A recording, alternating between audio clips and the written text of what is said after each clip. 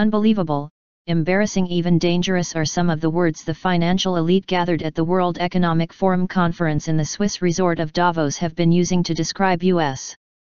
Republican presidential frontrunner Donald Trump. Although some said they still expected his campaign to founder before his party picks its nominee for the November election many said it was no longer unthinkable that he could be the Republican candidate.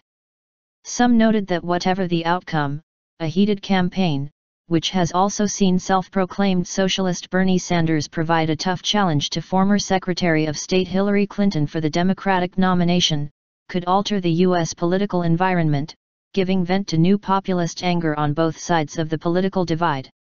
Trump's nationalist rhetoric, particularly proposals to ban Muslims from entering the United States, tax goods made abroad and build a wall on the Mexican border, were never the sort of thing to appeal to the free trade crowd that typically gathers at events like the annual Davos Economic Forum.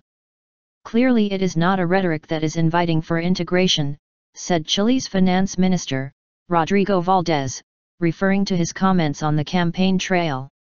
In Chile we have a deep view that integration of the Americas is a good thing, whether it is goods, financing, and yes people. So I'd be happier with a more welcoming rhetoric.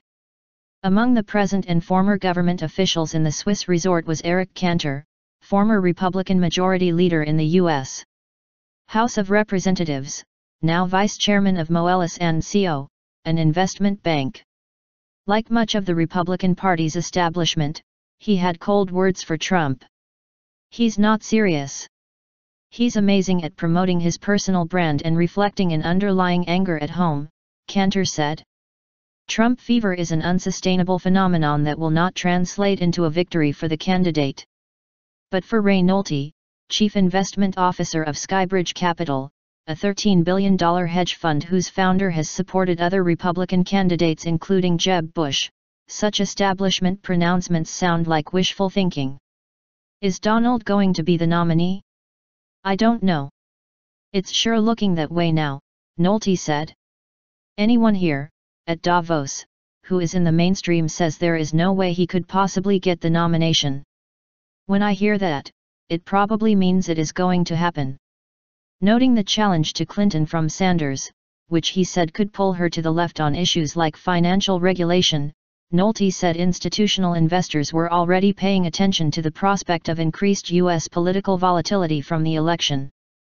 Mainstreaming Arianna Huffington, whose Huffington Post news website once insisted on covering Trump, a former reality TV star, as an entertainment figure rather than a politician, said the site reversed its policy once he announced his proposal to ban Muslims from entering the United States, which made him too dangerous to ignore.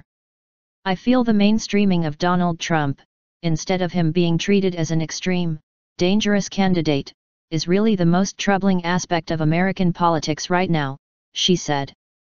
He's being interviewed on all the main shows, and he's being asked questions about what his first State of the Union address would be like if he wins, instead of actually being forced to answer the tough questions about his policy, especially his policy of wanting to ban Muslims from entering the U.S., which is so dangerous, so un-American, and should really be the center of the coverage of Trump.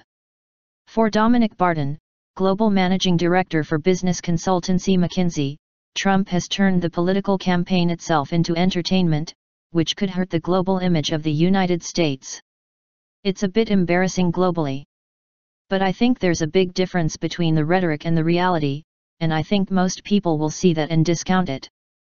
But it's incredible how long it's been going for. It's just unbelievable, he said.